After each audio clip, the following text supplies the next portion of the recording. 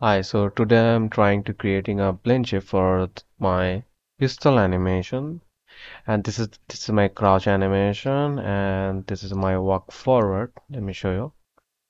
Okay.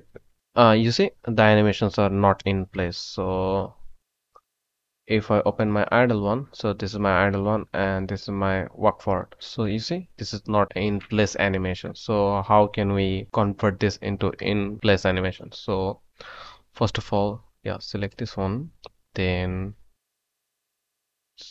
uh, look for root motion. Now choose force root motion.